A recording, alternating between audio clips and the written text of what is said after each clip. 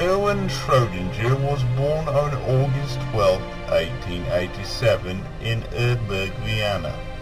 He studied in Vienna from 1906 to 1910 and became an assistant to Franz Serafin Exner in 1911.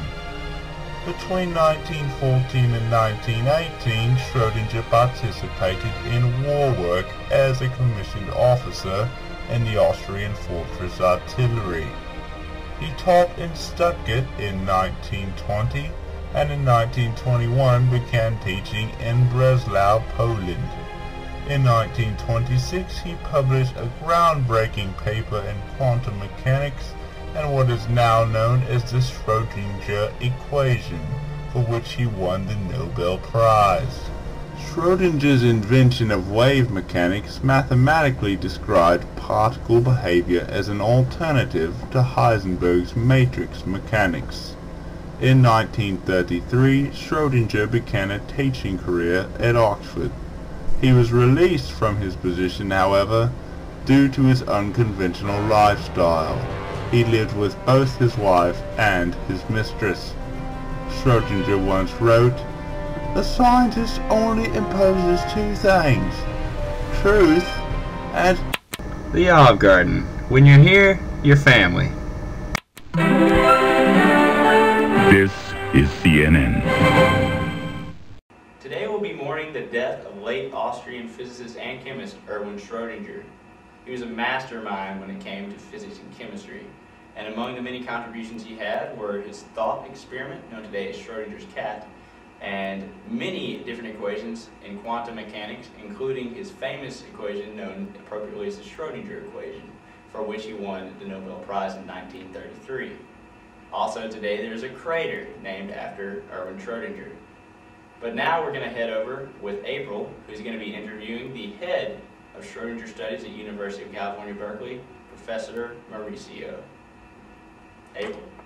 Thank you, Kent. I'm here at the University of California at Berkeley with Dr. Maurizio, an expert in the life and times of Erwin Schrödinger. And now Dr. Maurizio is going to give us a brief description of Schrödinger's equation. Take it away, Doctor. Why, thank you, April. Now, first of all, the viewer must understand fundamentally that Schrodinger's equation is about as important to quantum mechanics as Newton's second law was to classical mechanics. With this in mind, we continue with the basic equation. Here is a rendition of a simple Schrodinger equation. As you can see, the equation is time dependent. Let me get another colored chalk. Now, this is a Hamiltonian. The Hamiltonian describes the total energy of the system. Schrodinger's equation basically functions to describe the energy of the quantum system. So, here's the Hamiltonian. As you can see, the instantaneous state of the system is described by a complex space in which a vector describes that space. So it follows that as the system changes generally over time, this equation serves to define the rate of change of that state vector over time. So, I know this probably sounds a little out there, but this equation was fundamental to quantum mechanics because it just it showed how quantum mechanics was time time dependent. As you can see, the equation is a function of time, as I have mentioned before. Now, there are many, many, many more things about this equation, but as April said, I was only supposed to give a brief description. So, oh yes, you might want to know that this is the imaginary number, the i, and also this variable defi is, is defined by Planck's constant divided by 2 pi. As you can see, Schrodinger was a genius, basically. Thank you so much, Doctor. The Transformers, more than beats the eye.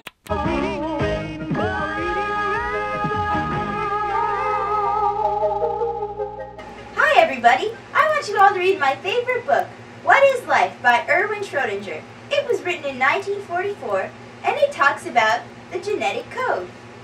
People say that it even influenced Watson to do research on the gene, which helps him lead to the discovery of the double helix structure of DNA. So please check out What is Life by Erwin Schrodinger today.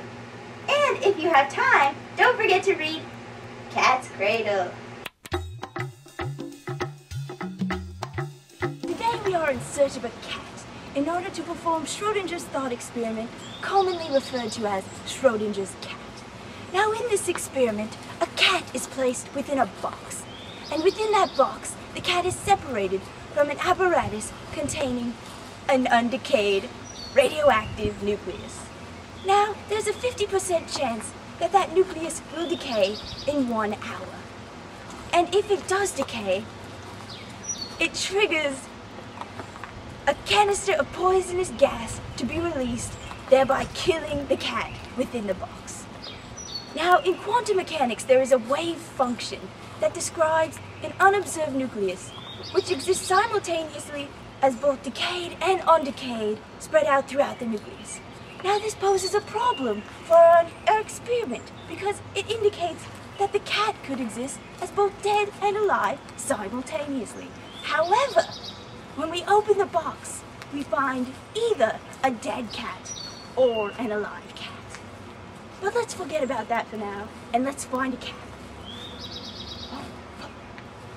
See over in the bushes there? I think I see something.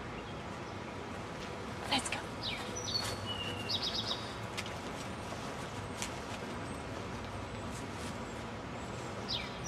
Oh,